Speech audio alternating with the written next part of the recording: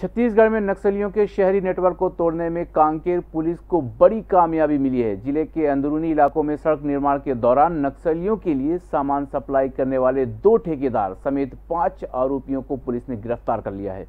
छत्तीसगढ़ में नक्सलियों को सामान सप्लाई करने वाले आरोपी राजनांदगांव, उत्तर प्रदेश और मध्य प्रदेश के रहने वाले बताए जा रहे हैं। जिनके पास से दो कार, दस मोबाइल, नक्सली वर्दी वॉकी टॉकी इलेक्ट्रिक वायर भी जब्त किया गया है।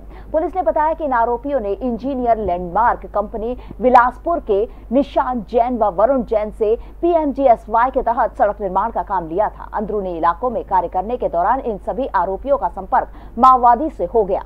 जिसके बाद वर्दी, जूता, मैम पैक, सेट नकदी रुपए व अन्य सामग्रियाँ बीते दो सालों में पहुँचाया जाता रहा। कांकेर पुलिस अधीक्षक ने कहा कि इन सभी आरोपियों का नक्सली कमांडर सरिता राजू सलाम जैसे कई माओवादियों से संपर्क रहा है। सभी से पूछताछ की जा रही है।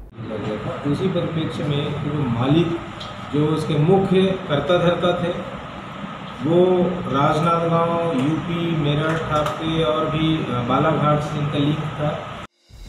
संगीत की स्वर लहरियों से सांस्कृतिक ताने बाने तक चंबल के पीड़ों से नक्सलवादियों के गढ़ तक झोपड़ी से महलों तक ठेलों से मेलों तक पगडंडियों से सड़कों तक गाँव से शहरों तक व्यापार से उद्योगों तक। राजनीति से कूटनीति तक। दखन न्यूज़। आपके हक